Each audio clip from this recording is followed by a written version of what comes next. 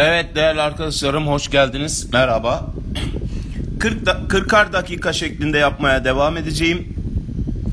Umarım artık donma olayı olmayacak. Öyle tahmin ediyorum. Tekrar merhaba. Ee, ilk kısmında birazcık zorlandık. Uzun bir ara verdim. Telefonumdan kaynaklıydı. İnternetten değil. Çünkü internet gerçekten normalde günlük 10 saat, 12 saat online ders yapıyorum. Hiç öyle bir şey olmuyor. Ama e, e, ben iyi bir şimdi biraz çözüm buldum. Hatta yorumları kapatıp hızlıca başlamak istiyorum. Yine kayıt konusun çok soru geliyor. 40 dakikada bir kayıt etmeye çalışacağım eğer o donma olayı olmazsa. Günaydın, günaydın, hoş geldiniz. Ee, yani bu benim telefonumla ilgili olduğunu düşünüyorum. Tabii telefonum e, iki tane vardı normalde. Biri bende değil maalesef. E, o yüzden ben artık donma yaşayacağımızı zannetmiyorum. Daha serin bir ortam çünkü burası. E, hadi başlayalım. şu anda yok değil mi? Herhangi bir sorun yok şu anda.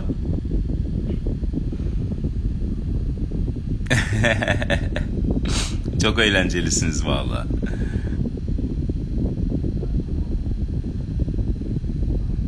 Tamam şimdi daha serin bir ortamdayım.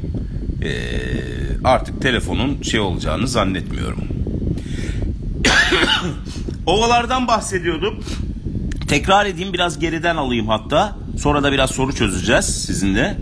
Burada takkemi kodladınız eyvallah güzel ama ne olur ona bir iki tane daha ekleyeyim. Bu adamlar kodlamalara bakıyor. Nerede kodlamada pratikten öğrenmeyen varsa diyor ki ben bunu gerçekten hakkıyla öğreneni seçmek istiyorum. O yüzden Gembos Antalya'da ve Denizli'deki Tavas, Çivril gibi ovaları da lütfen karstik ovalar, polio ovalarına ekleyiniz. Karstik ovalar, polio ovalarında bunlar da bulunsun. Yani evet Tefenli, Burdur Tefenli, Acıpayam Denizli, Korkuteli Kestel, e, Antalya. Bunları da bilin doğru ama lütfen Gembos, Tavras ve Çivril'i de karstik ovalarınıza ekleyin ne olur ne olmaz. Şimdi deltalara gelince Kızılırmak'ın Bafrası büyüyemiyor. Çünkü Bafra'nın büyüyememesinin sebebi üzerine çok sayıda baraj yapılması. Unutmayın barajlar bir deltanın gelişimini engelleyebilir. Alivyonları tutar, alivyonları engeller ve böylece delta gelişimi yavaşlar. Bu bizde Kızılırmak'ın üzerine çokça baraj yapılmasından kaynaklanıyor. Bakın Kızılırmak üzerinde İrfanlı Kesik Köprü, Kapulukaya, Altunkaya, Derbent gibi çok sayıda baraj Bafra Ovası'nın gelişimini engelliyor. Tabii ki Yeşilırmak Çarşamba, Seyhan Ceyhan Çukurova, Göksu Silifke. Bakın burada size sizi buradan diyelim ki şuraya götürdüm. Hangi nehirleri görmezsiniz? Aşağıdaki nehirlerden hangisi görülemez? Karamenderes görülür. Bakırçay görülür. Gediz görülür. Küçük Menderes görülür ama Büyük Menderes'e ulaşmadınız. Artık böyle ince ayar sorularla görebiliyor. Büyük Menderes'e ulaşmanız söz konusu olmadı değerli arkadaşlar. Demek ki buradan buraya gittiğinizde karşılaşacaksınız. Peki deltalara bakalım. Deltalar nezdinde ne diyebiliriz? Dikili evet şurada bir Karamenderes'imiz var. Dikili Menemen, Selçuk, Balat. Karamenderes, Dikili, Menemen, Selçuk, Balat ve tabii ki Meriç ve tabii ki Karasu deltası Kızılırmak'ın pardon Sakarya'nın da bir Karasu küçük bir Karasu deltası var. Peki Adapazarı Ovası hocam Adapazarı Ovası için Ergene gibi bakın Ergene nasıl taban seviyesi ovası ise Adapazarı için tektonik ve taban seviyesi diyebilirsiniz. Hem tektonik hem de taban seviyesi ovası diyebilirsiniz ama bir delta ovası değildir. Adapazarı ovası bir delta ovası değildir kesinlikle. Şimdi geldik bu sene olası soru olabilecek. Tamam deltalar, karstik ova, polio ovaları ama malumunuz Türkiye'de Kuzey Anadolu fay hattı boyunca Balıkesir'den başlayarak Bursa'dan Karacabey, Yenişehir, Pamukova, Yalova, Bolu, Düzce, Hendek, Kastamonu, Tosya, Çorum, Osmancık, Tokat, Erbaa, Niksar, Reşadiye, Turhal, Suşehri, Amasya, Suluova, Merzifon, şöyle gidiyorsun Erzincan, Erzurum, Aşkale, Pasinler, Aşkale, Aşkale, Erzurum, Aşkale, fazlasını duymakta zarar yok. Erzurum, Aşkale, Pasinler, bunlar Kuzey Anadolu fay hattı boyunca bakın. Kuzey Anadolu fay hattı boyunca, Doğu Anadolu fay hattı boyunca Karlova tam birleşme yeridir her iki fay hattının. Birleşme yerini sorabilir. Karlova, Karlova, Muş, Malazgirt, Bingöl, Karlova, Muş, Malazgirt. Arkadaşlar zaten maalesef tecrübe ettik. Artık Elazığ, Malatya'nın, Maraş'ın ve Amikovası'nın malum burası kırıldı. fay hattı. Buralar deprem bölgesiydi zaten. Bu ovalarda Malatya olsun, Elazığ olsun ya da Maraş olsun ya da işte Amikovası olsun bunlar da doğan. Ama ben buradan ziyade bunları da sordular. Bunları da sordular. Bakın. Buradan ziyade şuradaki tektonik ovalar, şuradaki tektonik ovalar. Çünkü bunlar da tektoniktir aslında. Özellikle bizim Suriye sınırını oluşturan ovalarımız var. Onları bilmenizi istiyorum çünkü sizi böyle gezdirebilir. Yani şuradan şuraya giden hangi ovayla karşılaşmaz diyebilir. Böyle bir soruda Birecik görürsünüz. Ceylanpınar görürsünüz. Harran yani Altınbaşak görürsünüz. Suruç görürsünüz. Lütfen dikkat edin. Ayrıca burada sınır ismi olan Mürşit Pınar gibi, yine Mardin'in Şenyurt gibi, Nusaybin gibi bunların hepsini görebilirsiniz arkadaşlar.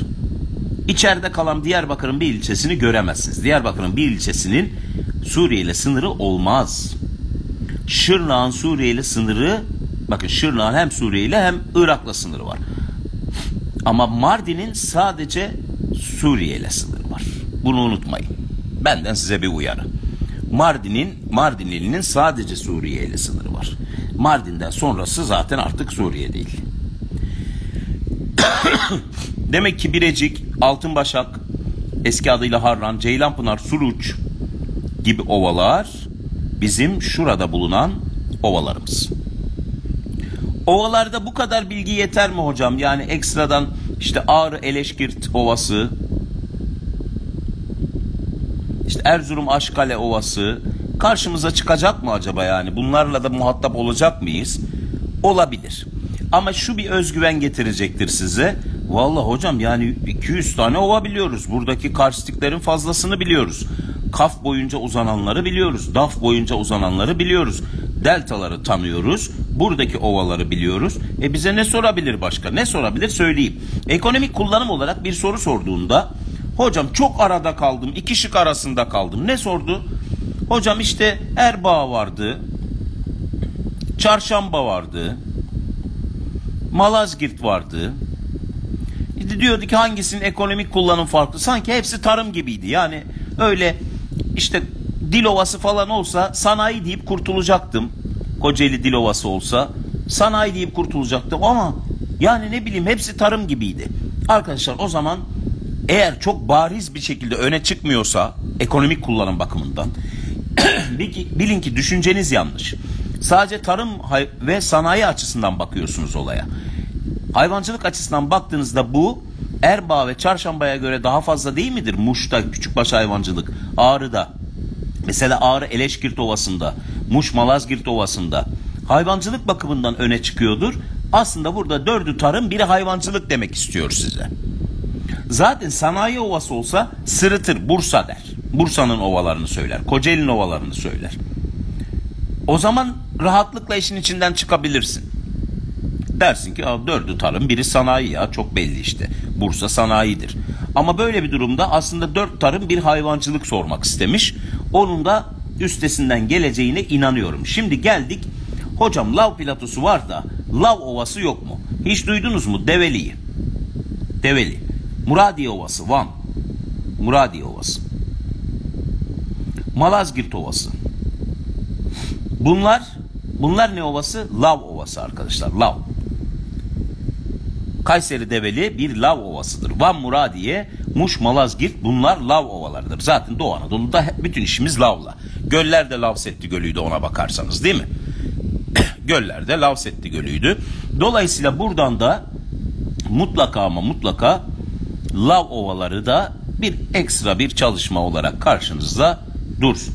Böylece ne yapmış olduk? Türkiye'nin dağlarını, kıvrımlı kırıklığı, hem kıvrımlı hem kırıklığı, volkanik dağlarını, Türkiye'nin platolarını her şeyiyle ve ovalarını gördük. Gelin biraz soru çözelim.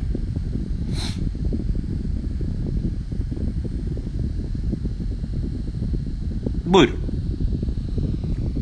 Gelin biraz soru çözelim. Ova ve il eşleştirmesi istiyor. Ova ve il eşleştirmesi. Yani artık bir tık zorlayabilir diye biz de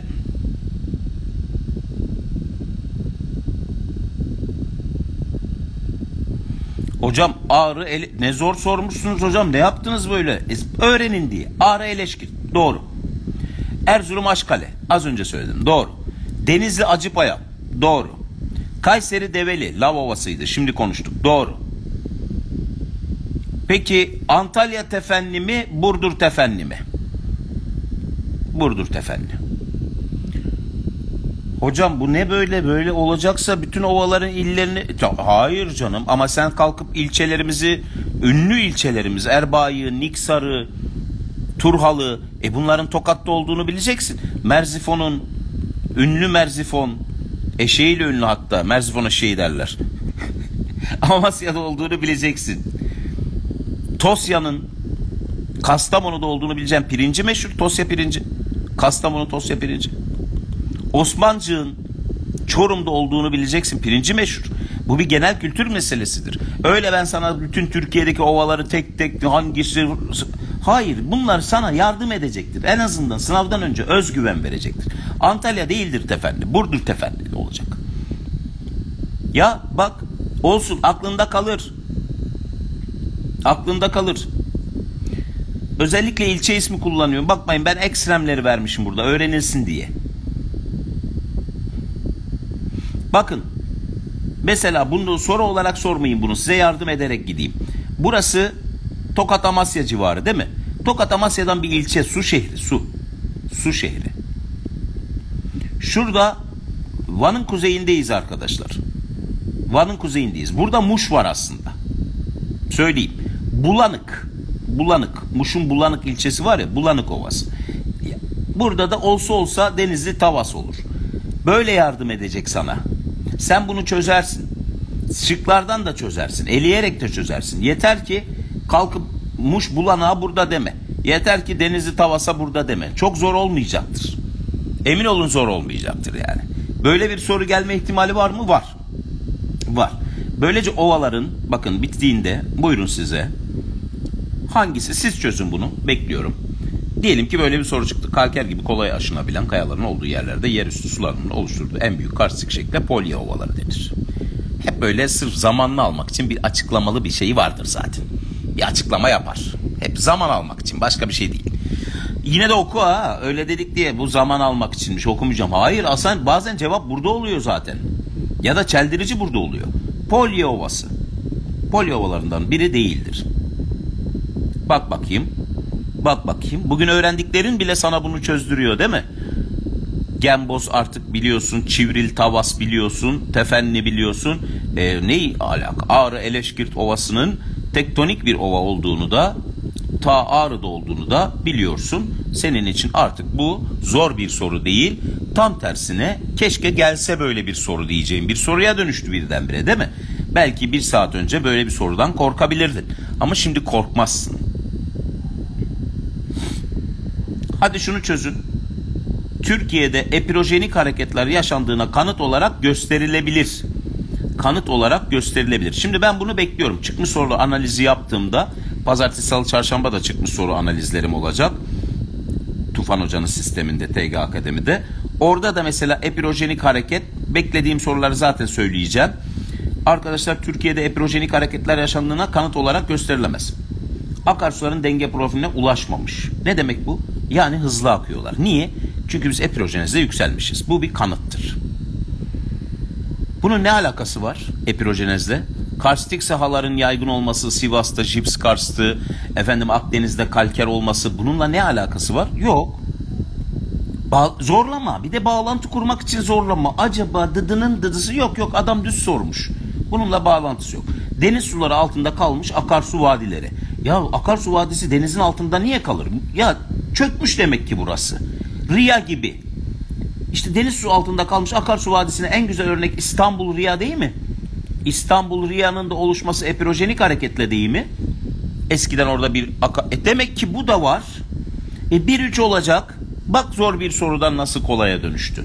Epirojenik hareket. Gelebilir, gelir, dikkat.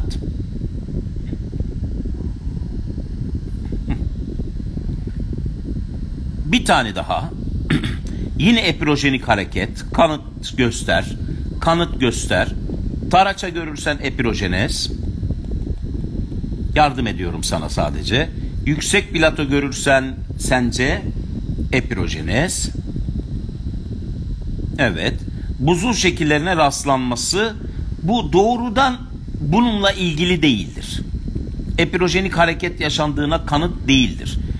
İç epirojenik yaşanmadan da yüksek olan ve buzul şekilleri görülen ülkeler var. Buradan doğrudan Türkiye'de aa buzul şekli var demek ki epirojenez olmuş diyemiyoruz. Ama platolar yüksekteyse epirojenez olmuştur. Çünkü plato alçakta olması gerekir. Akarsu, göl ve taraçaları epirojenez ol. 1 ve 2'yi alırım sadece. 3'e bulaşmam. Doğrudan bağlantı kuramıyorum çünkü 3'le. Bu nasıl bir soru? Peri bacaları çok önemli değil. çok önemli. Zonguldak'ta peri bacası yok. Sadece Artvin'de olduğunu duymanızı istedim.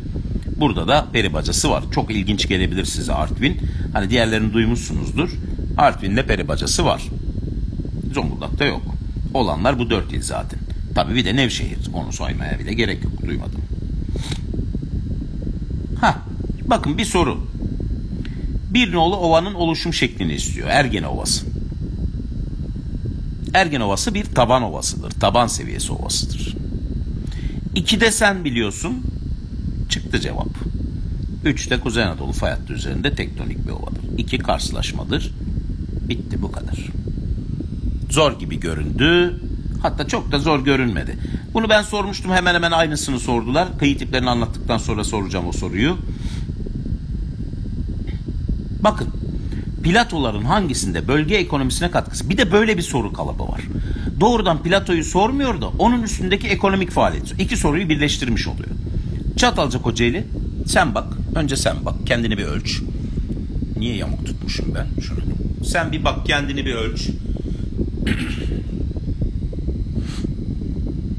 Birazdan akarsu anlatacağım. Akarsu soruları soracağız. Önce biraz bu yer şekilleri sorularımızı halledelim. Ordu Perşembe'de sanayi çok mu gelişmiş? Hayır tabii ki. E Tamataşeli Küçükbaş kıl keçisinden bahsediyor.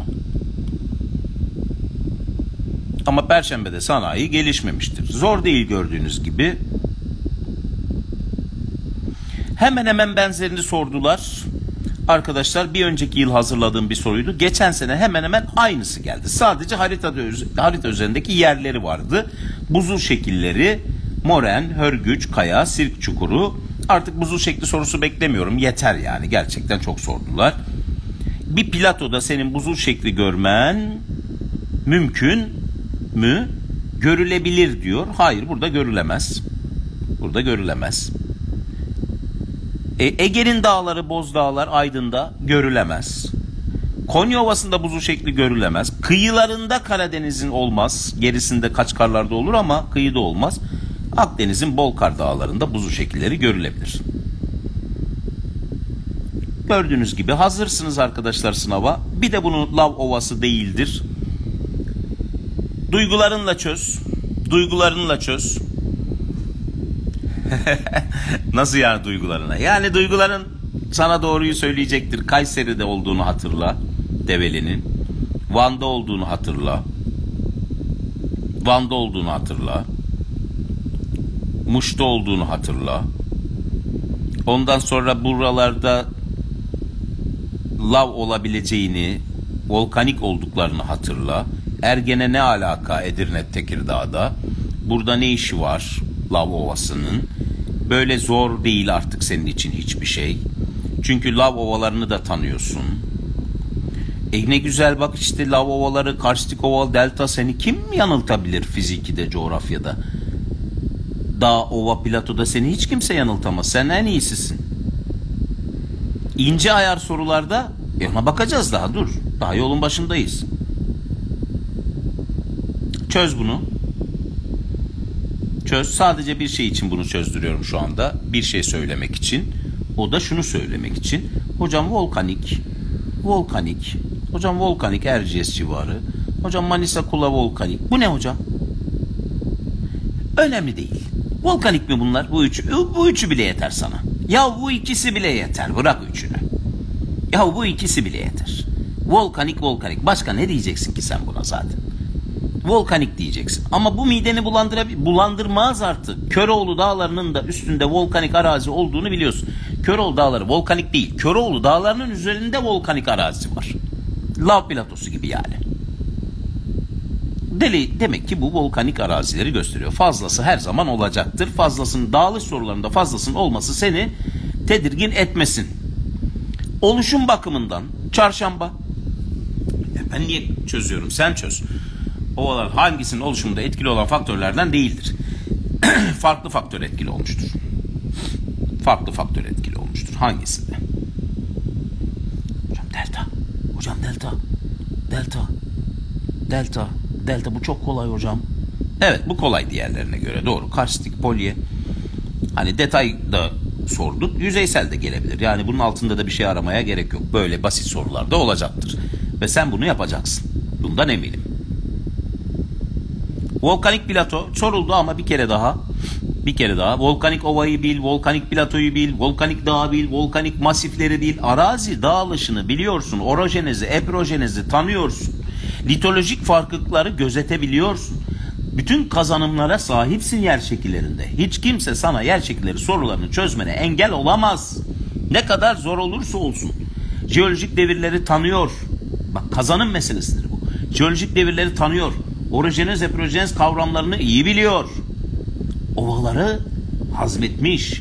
Türkiye'nin haritasında yer bilgisine sahip. Bu adama 4-5 tane yer şekli sorusunu yaptırmamak mümkün değil. Yapacak. Kaçarı yok. Kaçarı yok ki teke platosu karstik diyecek. Diğerleri volkanik diyecek. Bundan kaçış var mı? Nereye gidecekler? Bunu da yap.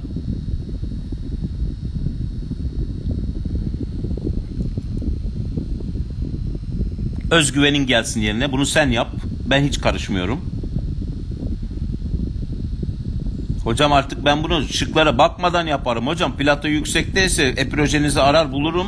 Onu işaretlerim. Diğer şıkları okumam. Sen yine de oku da yani haklısın. Böyle bir soruda dediğin gibi yapabilirsin de zamandan kazanmak istiyorsan ama yine de sen soruyu oku. Hele uzun bir öncül kullanmışsa böyle bu basit bir öncül. Plato yüksekteyse nedeni ne? Bunu zaten genel bir okumayla, hızlı okuma tekniğiyle böyle bakışta, tek bakışta Plato yüksekte gördüm, epirojenez gördüm, işaretledim. Olur. Böyle kısa sorularda olur. Olur yani. Sonuçta bu bir sınav ve taktik teknik uyguluyoruz. Matematiğe zaman ayırmak isteyenler oluyor. Tarih var, vatandaşlık var. Tek bir coğrafyadan girmiyorsun. Dolayısıyla güzergah sorularında ince ayar görmeye başladı son yıllarda. Ben de şimdi bir tane soracağım size. Hocam bu güzergah sorularında bu ince ayar biraz can sıkıcı bir durum ya. Yani çok yakın oluyor bazen o var mı yok mu? Canım arkadaşım bak önce bir şeyi garantilemen lazım. Bir defa bu adam A noktasından yola çıkıyorsa kesinlikle Menteşe dağlarını görecek. Kaçarı yok görecek. Bak iki şıkka düştü. Yazılıkaya, Yazılıkaya burada ne alaka? Afyon tarafında. Afyon'la işi yok bu adam. Ondan sonrası o kadar kolay ki bak Menteşe tamam. Bir Yazılıkaya. Ya Yazılıkaya olsa zaten bu olurdu. Yazılıkaya yukarıda dedik. Bitti cevap çıktı. Sultan Dağları ve güneyinde Obruk platosu. Cevap C. Gördün mü ne kadar aslında basitleşiyor olay senin gözünde. Menteşe dağları tamam. E Sultan dağları burada. E burada da Obruk platosu var. E, tamam işte göreceğimi gördüm ben zaten. En neti bu en garantisi bu. Ben ne bulaşacağım yazılı kayaya ne bulaşacağım haymanaya bozoğa. Benim onlarla işim yok ki. Güzergahım belli. E şimdi burada bir güzergah çizme ihtimali yüksek. Hep denizde çizecek değil. Geçen sene şuradan şuraya götürdü. Hangi nehri görmez? Cevap Ceyhan'dı. Hangi nehri görür? Pardon cevap Göksu'ydu. E bariz burada Göksu buradaydı.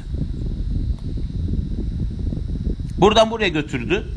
Hangi körfezi görmez diye zaten tahmin etmiştik. Biliyorsunuz tutturduk bu soruyu. Hatta aynısını ben sormuştum. Körfez sorusu.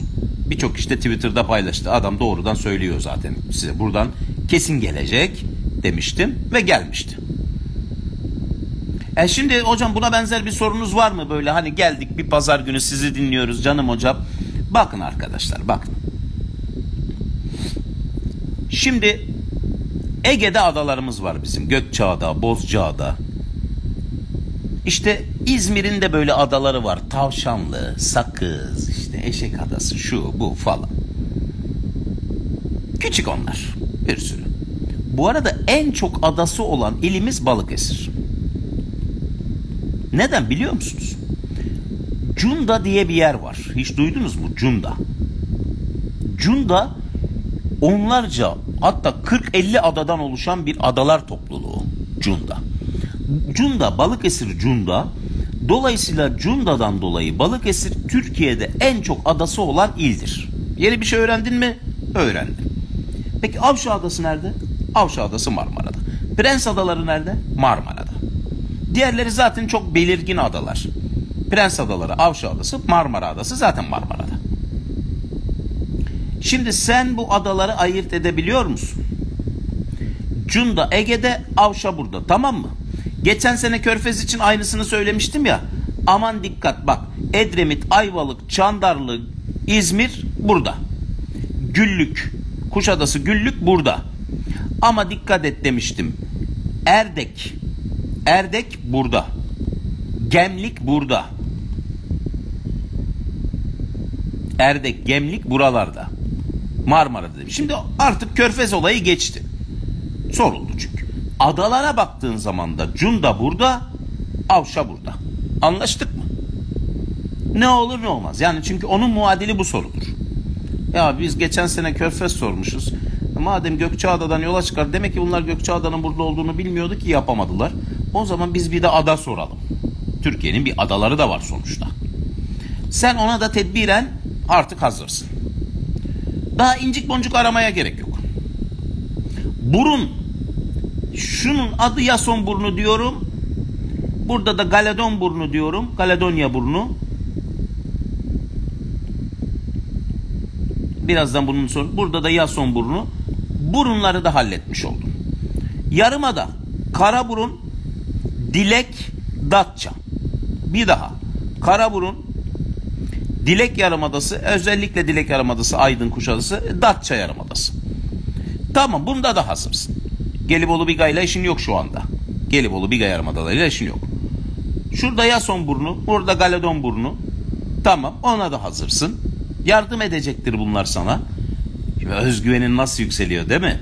Oo Yason burnunu bile biliyorum ben. Ordudaki Yason burnunu bile biliyorum. E tamam hadi gel şimdi gel biraz akarsu çalışalım. Sonra zaten bir sürü bunların sorusunu çözeceğiz. O burun burun sorularını da çözeceğiz. Seni oradan yanıltamaz. Şimdi biraz akarsuya bakalım. Bir boş haritaya gideyim. Sana biraz kol göstereceğiz. Yani kol göstereceğiz derken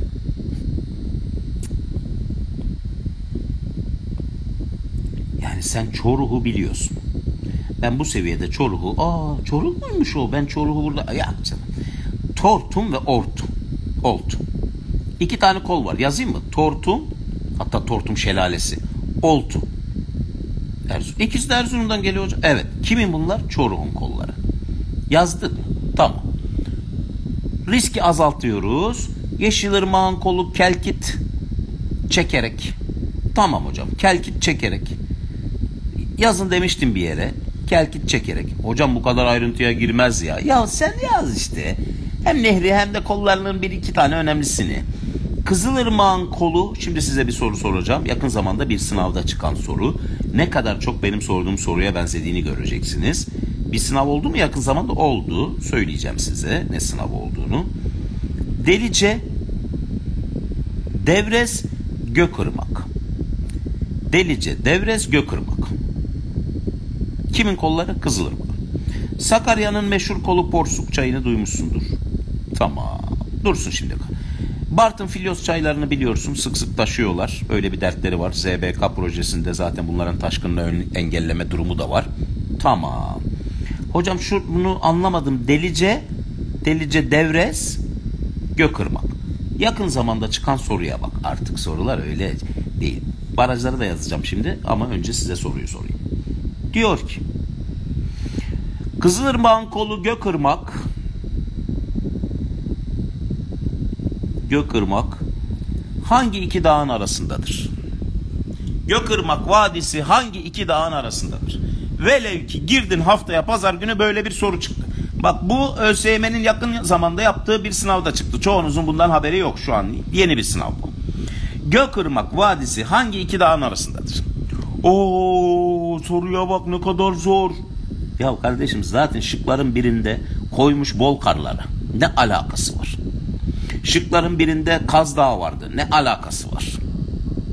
Gel buraya. Burada seni zorlayacak o. Sündiken'le işin var mı? Sündiken Dağı'yla yok. Onu da ele. Eleyerek gideceksin burada. Hocam bir defa bir tanesini bilmen lazım. İkincisini bilmesen de canın sağ olsun. Küre dağlarını bilmen gerekiyor. Küreyi bulduğun zaman cevap çıkıyor biliyor musun? Küre Ilgaz. Çünkü Küre Köroğlu var. Ne alaka Köroğlu çok geride. Küre Ilgaz var. Cevap Küre Ilgaz dağları arasındadır. Bitti. Çıkmış sorusu. Kızı çıkmış soru. Yakın, yakın geçen hafta çıktı. Geçen hafta açık öğretim sınavında çıkan soru. Açık öğretim sınavı sorusu. Gökırmak, Kızılırmak kolu Gökırmak. Ben kol soracaklar dediğimde millet o, o kadar da girmezler. Bırak kolu, kolun etrafındaki dağı sormuş. Ya. Zor soru değil. Bir dikkat. E hocam bu Kızılırmak koluysa e, Kızılırmak böyle olduğuna göre herhalde kolu da Gökırmak buradaysa e, kesin Küre Dağları var, Ilgaz Dağları da var. Bitti cevap Küre Ilgaz. Zaten burada Bolu var, burada da Köroğlu Dağları var. Bitti. O zaman cevap Küre Ilgaz. Niye az önce şey söyledim? Küre Dağları hangi iki şey e, Ilgaz Dağları hangi iki il arasındadır? Kastamonu, Çankırı. Böyle sorular da oluyor. İşte Kaz Dağları hangi iki il arasındadır? Çanakkale, Balıkesir. Yer bilgisi, yer bilgisi sorguluyor. Bu bir böyle ezber bir bilgi değil bu. Devam edelim. Hocam biraz barajda yazalım. Bu sene belli olmaz ne yapacakları. Haklısın. Çoruh'un kolu oltu ve tortumu hazmettik. Şimdi barajlarını hazmediyoruz. Ben söylemiyorum siz söylüyor. Şu an hepiniz bir ağızdan Deriner, Yusufeli, Borçka dediniz bile. Tamam. Yazmıyorum o zaman. Deriner, Yusufeli, Borçka dediniz. Çünkü bunun özellikleri var. O yüzden herkes biliyor. Yeşilırmak kolu iki taneydi. Kelkit ve çekerek. Kelkit Gümüşhane değil mi? Ta oradan geliyor. Ne yapacağım? Çekerek de burada. E, bunun da üzerinde Almus ve Uğurlu var. Almus Tokat'ın ilçesi zaten Yeşilırmak deyince Tokat akla geliyor. Almus ve Uğurlu. Yani iki tane Uğurlu var ama önemli değil. Şurada Kızılırmağımız var. Üzerinde oho. Mesela bir insan Kızılırmağın üzerindeki barajları normal sokakta yürüyen insan bilmek zorunda. Hirfanlı Kesik Köprü. Özellikle bu ikisi. Hirfanlı, Hirfanlı, Hirfanlı Kesik Köprü, Kapılı Kaya, Altın Kaya. Ha kaya kaya ama her kaya da Kızılırmağın üzerinde değil. Ona bakarsan Sakarya'nın üzerinde de Gökçe Kaya var. Şu Bartın Filyos çayları başa bela taşıp taşıp duruyorlar ağızlarında ulaşım yapılıyor ağızları geniş tabanlı vadi olduğu için. Gel buraya burada barajdan bahsedemeyiz Meriç'te, Ergene'de, Nilüfer'de, Susurluk'ta vardır ama sulama veya şehir suyu için.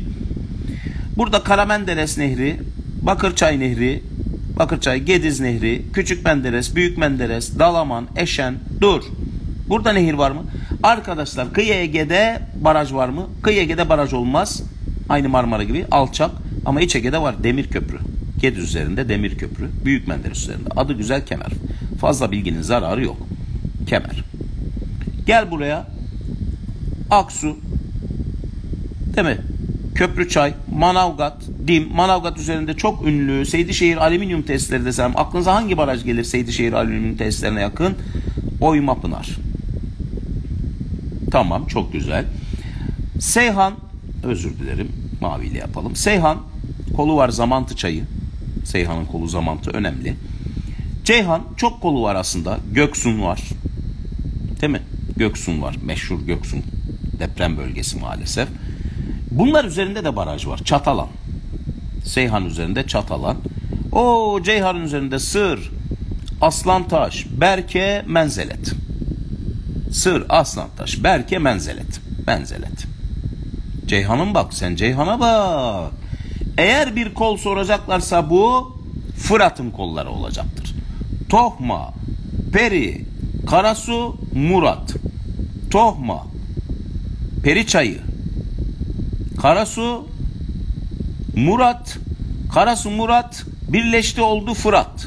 Ve Fırat'ın barajlarını bilmeyen bizden değildir. Keban, Karakaya, Atatürk, Birecik. Geldik buraya bak ne kadar kolay görüyor musun? Dicle. Dicle'de de deve geçidi Kral Kuzu Veysel Ilısu yani. Deve geçidi. Kral Kızı Veysel Eroğlu yani Ilısu Barajı eski adıyla. E geriye de iki tane nehir kalıyor Kura Aras. Hocam kol soracaklarsa ya Fırat'ın ya Kızılırmak ya Yeşilırmak kollarıdır. Başka kol sorma. Hocam Göksu'yu saymadınız. Evet Göksu hatta kolu var Ermenek. Göksu hadi onu da söyleyelim. Göksu Silifke geçen sene çıktı çünkü. Kol sormazlarsa akarsu sormazlar. O kadar. O derece. Eğer akarsu kolu sormazlarsa akarsu sorusu bu sene gelmeyebilir. Onun yerine yeraltı suyu, göller falan gelebilir. Hemen bir iki soru akarsuyla ilgili patlatalım. Hemen. Çünkü çok sizi konuya boğmak istemiyorum. Buyurun. Hem de akarsuların özelliklerini tekrar etmiş oluruz.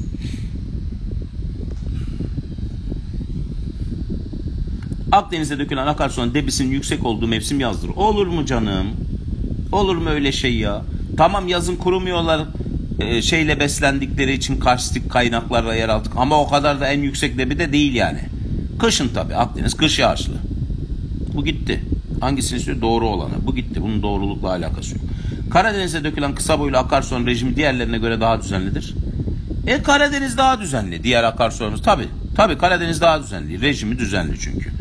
Akarsu düzenli. Niye? Yağmur düzenli. İç Anadolu'da akarsular yaz mevsiminde düşük debiyle akış gösterir. E tabii yazın yani İç Anadolu. Doğru istiyorsan 2 ile 3. Çok da zor değilmiş hocam ya. Bu da boşuna vakit kaybı oldu. Evet haklısın. Doğru. Daha güzel soruların var mı? Akarsular. Olmaz mı? Gel. Götüreyim seni. Al sana. Bütün akarsuların bütün özelliğini özetleyen bir soru. Bir nolu yerdeki akarsu Türkiye'nin en hızlı akan nehridir. Çoruh. Doğru. Yanlışı arıyoruz. İki nolu yerdeki akarsu sınırlarımız içinde bulunan en uzun akarsu Kızılırmak'tır. Doğru, basit. Üç nolu akarsu Türkiye'nin en kirli akarsuyu Ergene'dir. Doğru, Ergene ve Sakarya ilk ikide. Bir Ergene, iki Sakarya. Hocam ama ben Sakarya bir... Ya dur takılma tamam soru işareti mi kaldı aklında böyle yap sınavda. Bir durayım düş- düşüneyim belki Ergene değildir Sakarya'dır düşüneyim. Daha net bir şey varsa niye bu riskli olanı? Sonuçta istatistik içeren şeylere bir düşünme payı bırakırım. Az önce de yaptık. En son patlayan yanardağ sorusunda. Dört nolu yerdeki akarsu karstik arazi nedeniyle delta oluşturamayan aksudur. Bak ne kadar sırıtıyor. Ne Aksu'su hocam Göksu geçen sene soru soruldu. Aksu buradaydı. E o zaman bu kadar net yanlış varken bunu düşünmem bile artık. Bazen takılıyorsun çünkü. Bu net ya. Net Aksu diyor. Ne Aksu'su? Aksu burada. Beş nolu yerde Türkiye'nin en çok elektrik üreten akarsuyu Fırat'tır. Ben bunu da öğrenmiş oldum. Ama bu net yanlış. Denizli. Ya gördün mü? Devam. Soru. Akarsu sorusu. Kim nereye akıyor? Hangi havzada? Kim nereye akıyor ve hangi havzada? Vallahi Fırat Basra'ya akıyor. Tek başına da değil. Yanında Dicle'yi ve Zap'ı da götürüyor. Bu üçlü açık havza ve üçü de Basra'ya dökülüyor. E şimdi Bakırçay, Gediz, Küçük Menderes, Büyük Menderes bunlar Ege'ye. İşte Dalamanlar, Eşenler, Akdeniz'e dökülenleri biliyoruz. Dalaman Akdeniz. Ergene Ergene Marmara'da hocam. Marmara'da ama Ege Denizi'ne dökülüyor. O zaman Ege Havzası'nda. Meriç'le Ergene Ege Havzası'nda. Kim gibi? Bakırçay gibi. Buradaki tuzak Ergene'nin Marmara'da oluşu ama Ege'ye dökülmesi. Bu aynı göllerdeki Marmara Gölü'nün Ege'de olması gibi bir hikaye. Ergene'de Marmara'da ama Ege'ye dökülüyor. Ege Havzası'nda. Yanlış olan Denizli. Çıkmış soru. Artık bu, bak sana bu komik geliyor değil mi? Böyle soru da gelebilir. Hocam Sakarya, hocam Kızılırmak zaten çıktı cevap. Hocam zaten Sakarya Kızılırmak görünce cevap çıktı. Üçüncüye bakmadım bile. Çünkü başka Sakarya Kızılırmak yok. Ama tuzağa düştüm ben Yeşilırmak'la. Ya olur mu? Sen artık haritayı yemiş yutmuşsun bak. Bu Bafra burası. Burası Çarşamba. Hani Yeşilırmak? Yeşilırmak, Kelkit onlar yok burada. Bu Kızılırmak bak en uzun akarsuyumuz. Bak kolları delice. Bak delice, Devres, Gökırmak görüyor musun? Devres, Gökırmak. Görüyor musun demin sorduğumuz soru? E bu zaten Porsuk çayı ve Sakarya. Mis gibi mis gibi her şeye hazırsın. Bunu da yap. Şimdi sana bir şey öğreteceğim. Bu sorudan bir kavram kavram değil bir taktik vereceğim bu sorudan. Ya vantilatör işe yaradı. Basit bir vantilatör telefonun donmasını engelledi ya. Aferin sana oğlum. Çalış çalış. Joy gel sen de üfle buradan. Üf, yap Joy. Ya, sandalyenin altında yine yattı ya. Coğrafyacı olacak bu çocuk. Full her şeyi dinliyor günlerdir. Türkiye akarsularında şelalelerin çokça görülmesinin temel sebebi aşağıdakilerden hangisidir? Hey, dur dur dur dur dur. Temel sebep diyor. Gel. Bu bir fiziki soru mu? Fiziki coğrafya sorusu mu? Evet hocam. Burada ekonomiden mekonomiden mi bahsediyor? Nüfustan, ekonomiden, hayvancılık yok. Onlar beşeri. Bu bir eğer fiziki coğrafya sorusuysa ve temel sebep diyorsa en kapsayıcı olanı alacaksın. Bakın bizim akarsularımız şelale oluşturuyor. Çünkü hızlı akıyorlar. Doğru. Çünkü V profilli vadiye sahipler hızlı aktıkları için. Doğru. Çünkü derin aşınımları fazla. Doğru hepsinin şelaleyle bağlantısı var.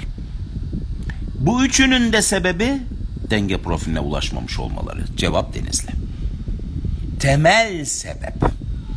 Eğer fiziki ise temel sebep dediğinde bu üçünü de kapsadığı için en geniş kapsamlı olan cevabı çekiyorum.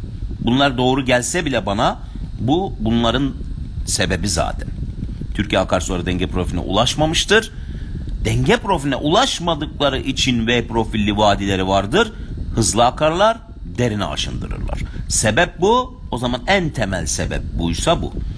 Ama bu soru beşeri bir soru olsaydı. Mesela hayvancılık sorusu olsaydı.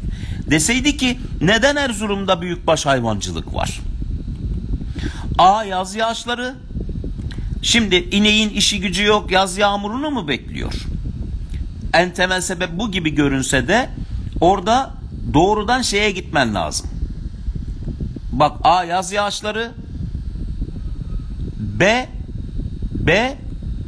Çayır örtüsünün bulunması. E şimdi bu beşeri bir soru. Erzurum'da büyükbaş hayvancılık beşeri. Sanki çayırın sebebi yaz yağışı gibi düşünüp yaz yağışını işaretleyenler hep yanlış çıkıyor. Son yılda, son 20 yılda ÖSYM'nin yaptığı sorulara baktığımda.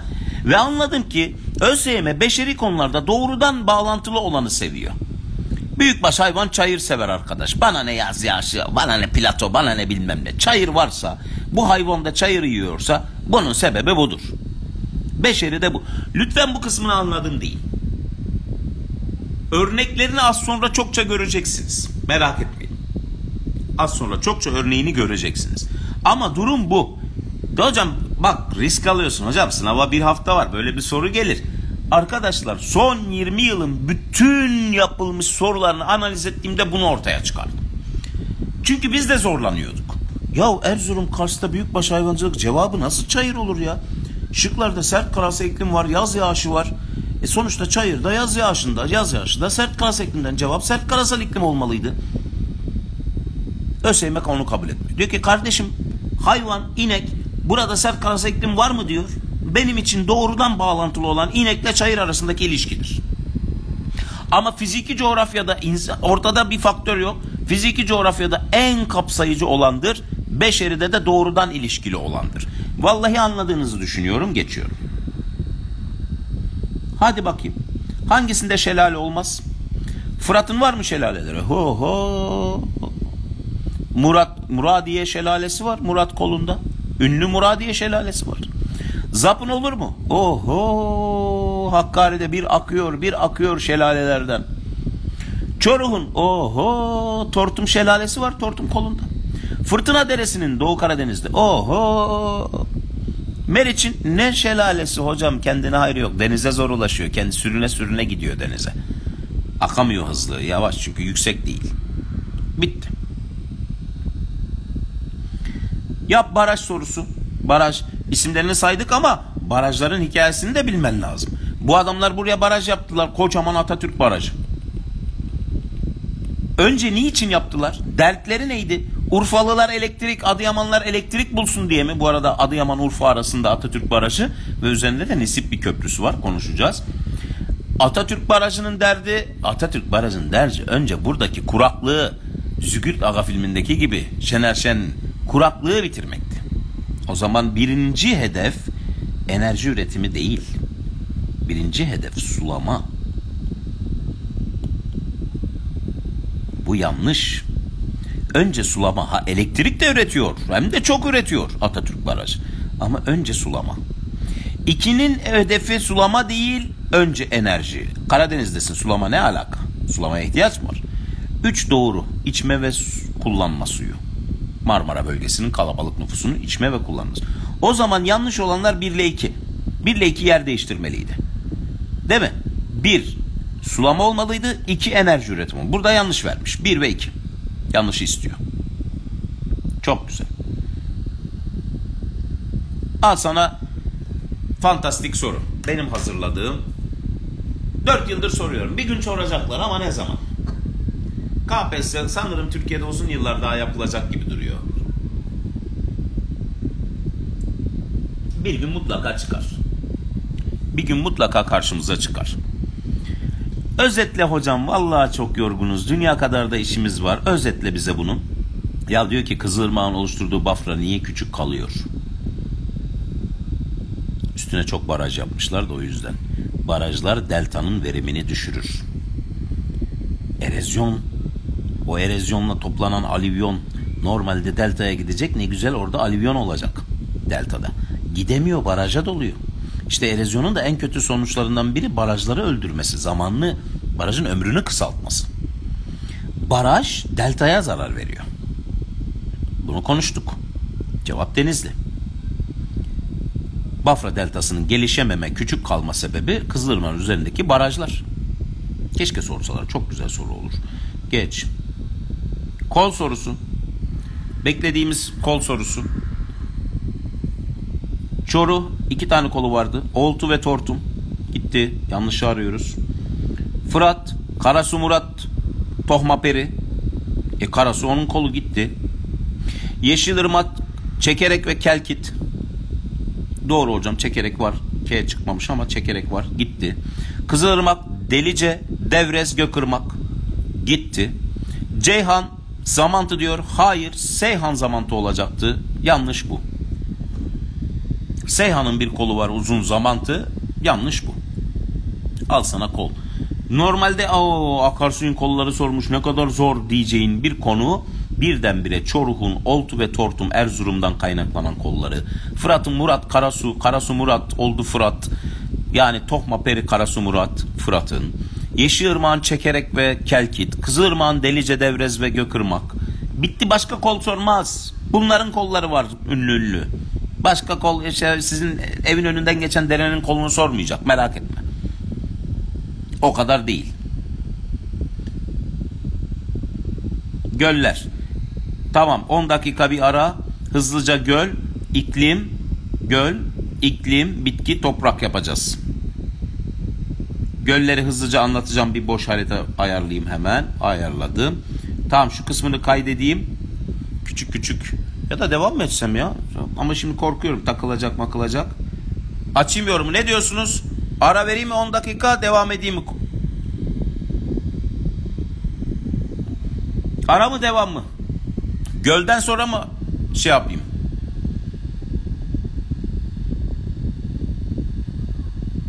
Saate bakayım ya. Saatte görünecek etrafımda saat yok. Dur bilgisayar abi. 11.48. Ya 48 dakika olmuş başlayalım. Tamam bir ara veriyoruz.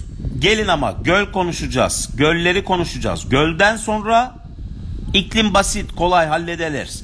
Asıl kesin soru olan bitki ve toprağı halledeceğiz. Böyle fiziki bitireceğiz. Ondan sonra nüfus göç, yerleşme, tarım, hayvancılık, maden, enerji, sanayi, ticaret, ulaşım, turizm. Onlara bakacağız. Günceline bakacağız. En güncel haline bakacağız. Şimdi gölü halledelim. Göl sorusu her sene geliyor. Gölü halledelim. Bitki ve toprak birer tane soru geliyor. Kesin halledelim. İklimde fantastik bir grafik çalışmamız var. Onu halledelim. Ondan sonra da şeye bakacağız. Arkadaşlar Kaçta başlıyoruz biliyor musunuz? Tam 12.00'da başlıyoruz. 12.00'da başlıyoruz arkadaşlar. 12.00'da. 12.00'da. Coğrafi konumu en son anlatacağım. Hepsi bitsin coğrafi konumdan da bahsedeceğim. Onun da sorularını soracağım. 10 dakika 12.00'da devam ediyoruz. 12'de aynen.